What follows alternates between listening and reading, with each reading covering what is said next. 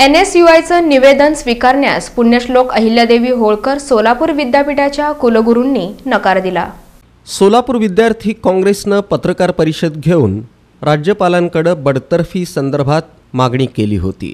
परीक्षा विभागात जो गैरव्यवहार झाला तो कुलगुरू महोदयांच्या लॉग इन आय डीचा वापर करून झाला. या संदर्भात संपूर्ण पुराव्यानिशी राज्यपाल आणि कॅबिनेट मंत्री बाळासाहेब थोरात यांच्याकडं पत्र सादर करण्यात आलं.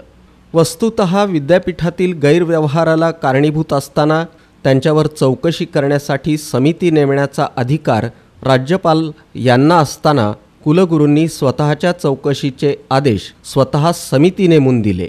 हे अत्यंत चुकीचं आणि बेकायदेशीर असून या प्रकारची कोणतीही समिती नेमण्याचे अधिकार कुलगुरूंना नसताना स्वतःच्या मर्जीतील आणि स्वतःच्या सांगतील त्या पद्धतीनं ठराव करून घेण्यासाठी ही समिती नियुक्त करून घेऊन आपला त्याच्याशी काडीमात्र संबंध नाही हे दाखवण्याचा निष्फळ प्रयत्न केला.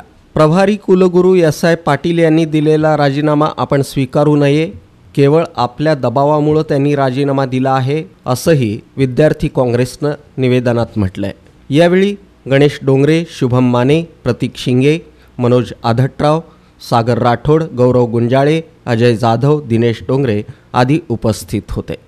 विद्यार्थी काँग्रेस एन एस आयनी आठ डिसेंबर दोन हजार एकोणीस रोजी पत्रकार परिषद घेऊन सोलापूर विद्यापीठाच्या पुण्यश्लोक अहिल्यादेवी होळकर विद्यापीठाच्या कुलगुरू माननीय मोनालिनी फडणवीस मॅडम यांनी केलेला भ्रष्ट कारभाराचा आम्ही खुलासा केलेला होता. त्यावर कुलगुरू मॅडम यांनी स्वतःचा लॉग इन आय डी वापरून एम फडणवीस या नावाचा लॉग इन आय डी निदर्शनास आलेला होता. त्यावेळेस राज्यपालांनी समिती नेमली पाहिजे होती.